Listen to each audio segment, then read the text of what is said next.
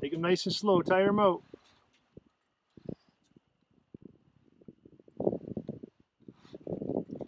Feels like a good one. That's a that's a strong rod too. So if he's pulling that hard on that one, This guy is a very, very, very oh tough. boy, Oh. Oh. Oh. oh. But don't pull up too high. Let let him. Uh... Oh, Griff, he's a big one, buddy. Jeez. Oh. Hold on, hold on, hold on, hold on. Let him play. Just let him play. Whoa! Oh. This might be a lake trout. He's a big one, though. He's a big one. well done, buddy. And then I know you're big. Oh. Okay, you gonna throw him back in? Yep. Pick him up, throw him back in. Hachi. this guy. Yeah, throw Hey, him back in. have fun. Nice. Oh, Jesus. Oh, that's a monster.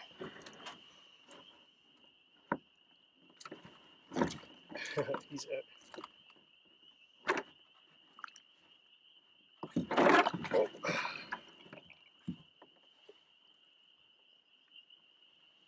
Look at that bad boy. Oh, yeah. All right. Another one. Let's go. Well, Griff, how's the fishing been? We have caught four fish within minutes. Seriously, minutes. And all monster trout. Seriously, all of them are about the size of a lake trout on a normal lake. Like, Yeah.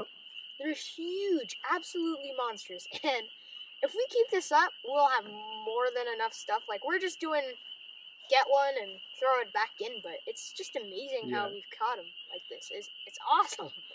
like this is the best fishing I've done in my life. Period. Absolutely, buddy. They're all so big.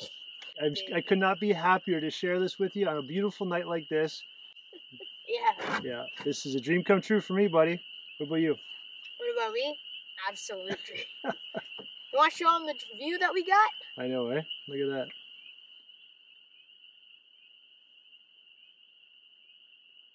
Wow. I will use that. But I don't think I'll use it in fishing. You. I don't think I'll use it in. Oh, oh. there's gloves here, Wes. No, it's le- okay. There's leather No, gloves. no, no, no, I don't want to be outdone. Use by- the by gloves. Donnelly. Use the gloves, please. Watch out, Fine. It's fine. Paris.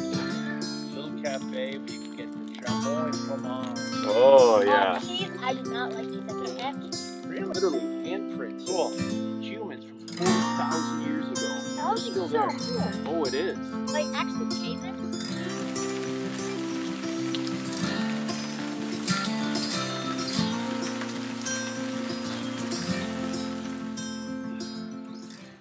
So we woke up this morning. The weather wasn't cooperating like it has been for the last four days. So we got a little bit of a rain going on right now, and we're going to have to be packing up our campsite. We're moving campsites today. The sky doesn't look too dark, and from where the wind is coming, it actually looks uh, fairly clear out there. So maybe this will pass, and we'll be able to pack up our camp and uh, we'll pack up our camp when it's not raining. That would be ideal. So this is why I like having the Jetboil. I just made Griffey some oatmeal. He's in the tent having that. And I'm going to have mine and uh, some tea. Got my rain jacket on, and uh, I got my kayak Kokatat uh, kayak pants on, which have booties. They're like uh, waders. And um, put it right in my water shoes and in and out of streams and in and out of the canoe without getting wet. And then if you got to carry rain pants, why not just carry a pair of waders, right? They're not like neoprene waders. They're actually uh, a lot thinner completely waterproof, and I've had them for a few years now. They've been great. I think we're going to be lucky with the weather today. There's not a lot of wind, and uh, the clouds look fairly uh, light, so it could just be a day of drizzle, which we've dealt with before in the past, and really it's not too bad as long as the wind doesn't pick up. Today's a day of travel. We got to paddle probably about four four or five hours to get to our next campsite. If the wind picks up and the water gets rough, there's going to be campsites along the way that we can uh, cut our trip short and uh, set up camp there. But ideally, uh, we have a destination in mind we'd like to get to. Last night, me and Griff hit the water at uh, sunset. It was beautiful, and we, uh, within an hour, we caught uh, four monster trout. So um, it was really exciting to see them uh, out there. It's not too often when you can get out um, where everything cooperates the, the weather, um, the fishing. You know, great company, my son and my good two good friends.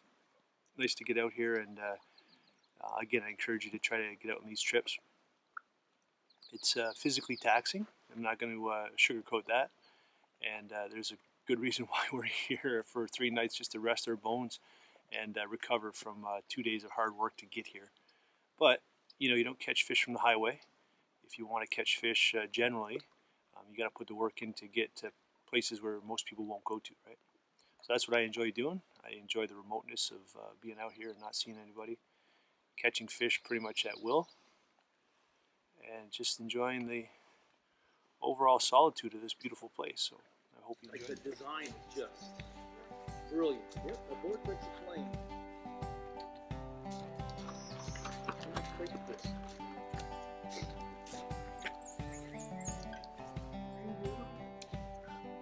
Let's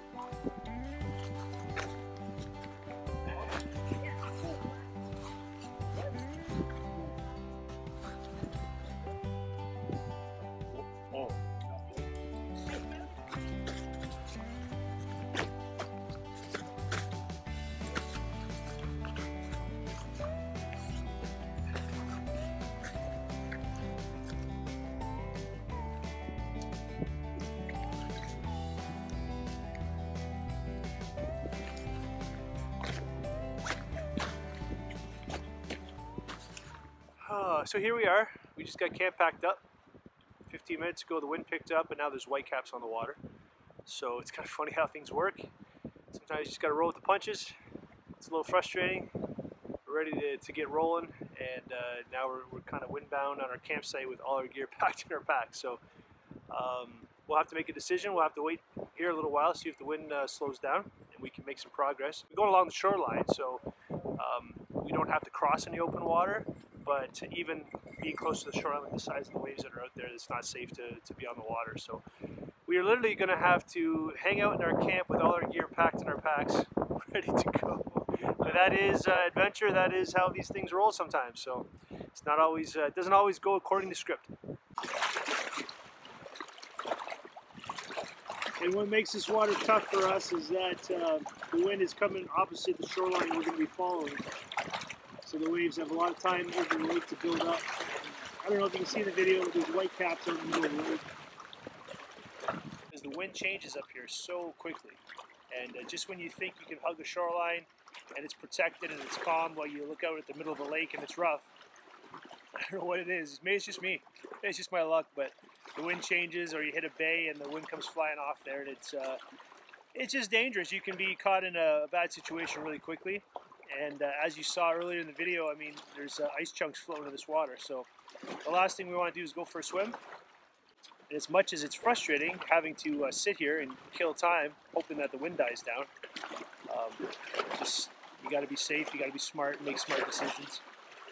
It's easy to get reckless and uh, just kind of say, "Well, we'll give it a shot," but it's really not worth it. If you truly are having your life in your own hands out here, there's no one to save you. So you've got to uh, manage risk, right? You got to plan well.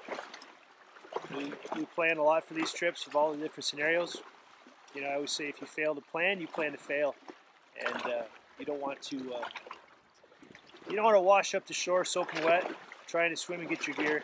You don't want to do that. And there's some yeah, there's definitely some big waves out here. So we're going to be uh, sitting in camp for a while. Oh, there we I told you about yay long. They look So- like an, look like an earthworm when you first see them. me and Griff were uh, windbound, so we decided to kill some time and go turn over some logs and look what we found. We were this is actually what we were looking for. So there you go. You never know what you're gonna find. Make the best of it. That's kind of cool, huh? Yeah. That was just underneath the uh, rotten, Undergrowth. yeah, just underneath, underneath a rotten log and kind of a depression in the forest there. Kind of funny actually. Griff has been wanting. Griff and Bill were talking about these salamanders, and of course, my son, being 11 years old, wants to find one. So you know, this is a perfect time, right? We're windbound. I said, "All right, Griff, let's go." Uh, I said, "All right, Griff, I have never seen a let's go see if we can find one." And turn over trees, turn over. There's a ton of uh, birch trees that fall over there in the on the forest uh, floor that are just rotten. And you flip 'em around, and Can I get a cook on? and uh, there we go. We found one. It's kind of neat. They get you with it. That adorable little guy. He's so tiny. You can Let's see take a he's look got his him. legs. Okay, hold him still. It's very cool. He'll just move a bit. Yeah. Yeah, there he goes. He's adorable though. All right. You I got, got. you got video of him. Listen, buddy, we're gonna let him go, and you got video of him to remember him by. Okay. All right. All right. Gotta put him away. Nice swampy, uh, rusty log. The wind's died down enough to get out on the water and feel safe about paddling. We got our salamander or skink, I'm not sure what it is exactly. Um, but uh, we got that uh, in the books now. Griffey's all excited about that. That'll keep him smiling for a while. And we're going to hit the water. We got a lot of paddling to do. So the nice thing is there's lots of uh, areas to pull in if the water gets rough. So that's something we factored in while we're doing this. So you can see how the weather changes. It's a beautiful day now. Not a cloud in the sky after it was raining all morning. We're in a nice little stretch here where the wind is actually at our back, which is good. I'll take that any day. And we're just enjoying some of the scenery. We just pulled off to shore, take off our rain jackets and our rain gear. We were heating up. And we're just enjoying the paddle and we're about an hour or two away from our next campsite. It'll be pretty good. Hopefully the weather cooperates. This is uh, this is really nice to have this type type of weather on a trip like this.